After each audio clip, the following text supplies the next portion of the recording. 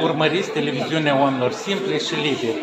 Iată așa, în pavilionul de care ne-am întâlnit cu nepotul lui Grigore Vieru din Pererâta. Era în Și a doua vedetă Carați.